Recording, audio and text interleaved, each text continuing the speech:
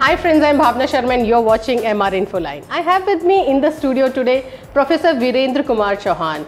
And आज जो वीरेंद्र सिंह जी आए हैं हमारे स्टूडियो में तो इनसे सबसे पहला सवाल जो मैं करना चाहूँगी वो मैं इनसे ये करना चाहूँगी कि सर अगर हम बात करें हरियाणा ग्रंथ अकेडमी की जिसके आप निदेशक हैं और साथ के साथ आप वाइस चेयरमैन भी हैं तो आपसे मैं जानना चाहूँगी कि हरियाणा ग्रंथ अकेडमी एग्जैक्टली करती क्या है हरियाणा ग्रंथ अकादमी, हरियाणा सरकार का एक इंस्टीट्यूशन है, जिसके अध्यक्ष मुख्यमंत्री होते हैं पदेन, और ये मूल रूप से भाषाओं के प्रमोशन के लिए काम करती है, जिसमें हिंदी भी शामिल है, और दूसरी भी जो प्रदेश में भाषाएँ बोली जाती हैं, और न बोली जाने वाली या कम बोली जाने वाली अंग्रेज़ी भी उसमें शामिल हो सकती है।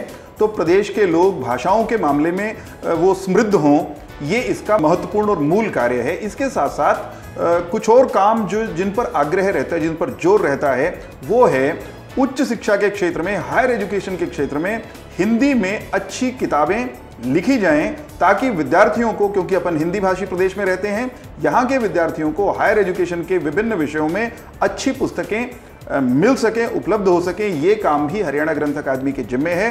हरियाणा ग्रंथ अकादमी अच्छे लेखकों को तलाश कर उनसे पुस्तकें लिखवाता है, उनको प्रकाशित करता है और फिर उनको, उनका प्रचार प्रसार भी करता है। ये मूल रूप से हरियाणा ग्रंथ अकादमी के कार्य हैं। सर और अगर बात की जाए आज के समय में जहाँ पर मुझे ऐसा लगता है मैं नहीं जानती हूँ आपका क्या मानना है पढ़ने की या रीडिंग हैबिट जो है ये थोड़ी सी लुप्त होती जा रही है क्योंकि अब इंटरनेट आ गया है और अब हम जो भी कुछ करते हैं वो या तो हम इंटरनेट पर हैं या फिर हम टीवी पर हैं या लैपटॉप पर हैं। तो क्या आपको लगता है कि किताबें हमारे इस पूरे संसार से कहीं दूर जा रही हैं?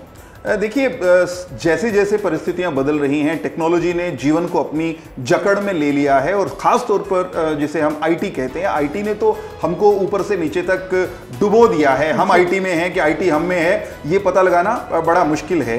इस बदलते हुए दौर में रीडिंग हैबिट्स पढ़ने की आदत और ख़ास तौर पर किताब पढ़ने की आदत, वो घटती जा रही है। इसमें कोई संदेह नहीं है। लेकिन अच्छा होता, खुशी की बात तब होती या संतोष हम कर सकते थे कि मान लीजिए हार्ड कॉपी पढ़ने की आदत घट गई, किताब पढ़ने की आदत घट गई तो इंटरनेट पर उतनी ही मात्रा में पढ़ने की आदत लोगों की बढ़ रही होती, तब भी हमको चिंतित होने की आवश्यकता नहीं थी। मैं अपने अनुभव के आधार पर एक बात कह सकता हूँ कि नई पीढ़ी में कुल मिलाकर गंभीर चीज़ें पढ़ने की पुस्तकें पढ़ने की, ऐसी किताबें पढ़ने की जो उनकी पर्सनैलिटी को डेवलप करने में मददगार हों।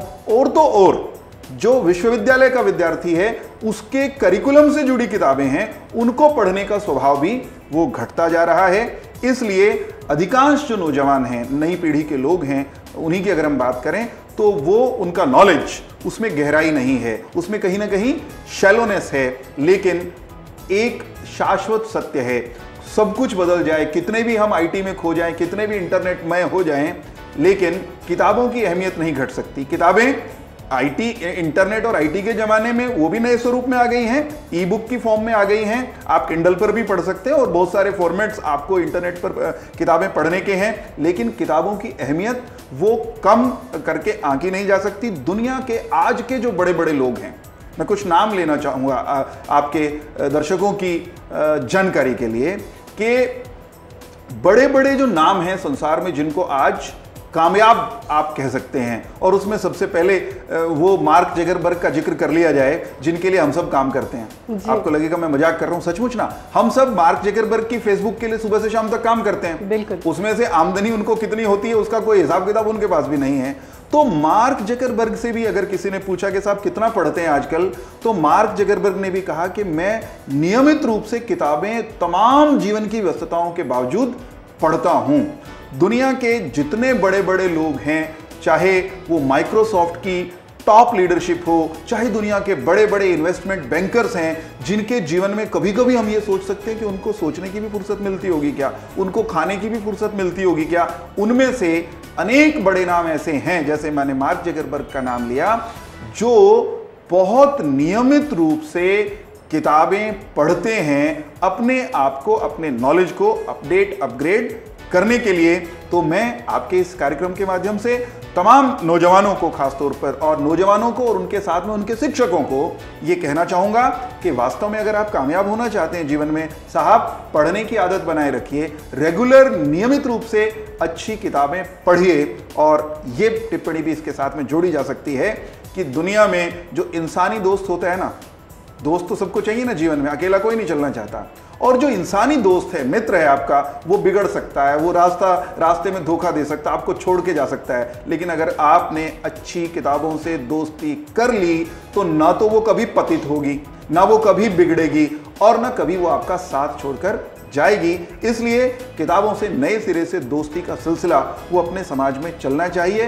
हरियाणा ग्रंथ अकादमी की भूमिका एक ये भी है कि लोग फिर से किताबों की तरफ़ लौटें। बिल्कुल ठीक कहा। और ये हमेशा से कहा जाता है फ्रेंड अगर आपको बनाना है तो बुक को अपना फ्रेंड बनाइए क्योंकि असली और सच्चा दोस्त वही होता है।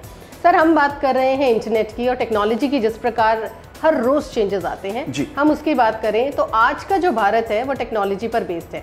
और अगर हम अपने न्यू इंडिया की बात करें तो एक न्यू इंडिया बनाने का सपना है जहाँ पर हमारे जितने भी यंग लोग हैं उनके लिए बहुत सारा रोज़गार हो और साथ के साथ बहुत ही कौशल उनका भविष्य हो। लेकिन अगर हम बात करें हमारे आज के इंटरनेट पे फंसे हुए यूथ की तो आपको लगता है कि ये वर्चुअल बनेगा या रियल बनेगा देखिए अगर वास्तव में न्यू इंडिया बनना है जैसा प्रधानमंत्री नरेंद्र मोदी कहते हैं तो वो वर्चुअल नहीं हो सकता। It has to be real जी। येन केन प्रकारेण उसको बिल्कुल वास्तविक होना पड़ेगा धरातल पर होना पड़ेगा।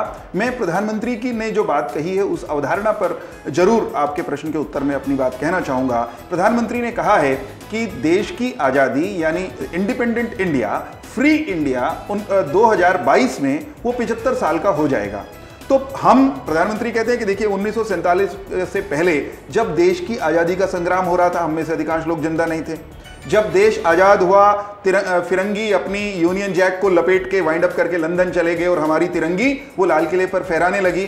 हम में से ज़्यादातर लोग उस समय भी जीवित नहीं थे।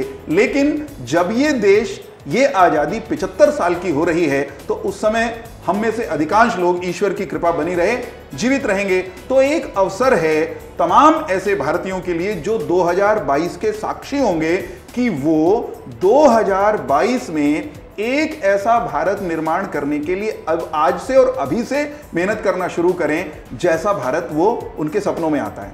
हमको अपने भारत की ढेर सारी कमियाँ आज दिखाई देती हैं। साहब, वहाँ बिजली नहीं है, वहाँ पानी नहीं है, वहाँ रोज़गार नहीं है। ये होना चाहिए या वो होना चाहिए या यूँ यूँ भी कभी कभी हम कहते हैं कि मैं अगर ये होता तो मैं ये कर देता, मैं वो होता तो वो कर देता। तो ऐसा अवसर है, प्रधानमंत्री जी कहते हैं कि जो जो जैसा जैसा भारत हम और आप अपने सपनों का बनाना चाहते हैं, वो बनाने का अवसर है ना? आज हम 2018 में खड़े हैं 22 का वर्ष सामने है। इस अवधि में प्रत्येक वो भारतवासी जिसको देश से प्रेम है, प्रत्येक वो भारतवासी जो न्यू इंडिया का नाम आते ही जिसकी शिराओं में करंट दौड़ता है, जिसको लगता है, yes it is a time that we should do something I should do something उसको अपने आप को डेडिकेट करना चाहिए वो नवीन भारत बनाने के लिए, वो न्यू इंडिया बनाने के लिए जो उसके सपनों में बसता है। और इसका तरीका क्या है कि हम सब अपने आप को उस काम के लिए डेडिकेट कर दें। न्यू इंडिया अगर बनाना है, वो केवल पॉलिटिशियन या केवल प्रधानमंत्री या कुछ मुख्यमंत्री बना देंगे, ऐसा तो नहीं होगा। प्रत्येक भारतवासी की उसमें भूमिका है। आप बतौर एंकर जब बात कर रही हैं तो न्यू इंडिया का आपका भी एक सपना है। वो सपना कैसे साकार हो, आप उसके लिए प्रयास करें। आपका विश्वविद्यालय, उसकी जो भूमिका है, शिक्षा के क्षेत्र में जो जो अच्छा होना चाहिए जो जो हमारा ड्रीम है, सपना है, इस मानव रचना संस्थान के संस्थापकों के मन में जो सपना रहा होगा, उस सपने को भी अगर आप साकार करें और उसको न्यू इंडिया के लार्जर ड्रीम के साथ इंटीग्रेट कर दें तो देखिए न्यू इंडिया बनेगा कि नहीं? आपके प्रश्न पर लौटूँगा। न्यू इंडिया वो आज हम सबके सपनों में तो पक्के तौर पर है। हम सब किसी न किसी रूप में उसका सपना देखते हैं। उस न्यू इंडिया के सपने को धरातल पर उतारने के लिए हम सब अपने अपने अंदाज में काम करना शुरू करें। इसकी आवश्यकता है।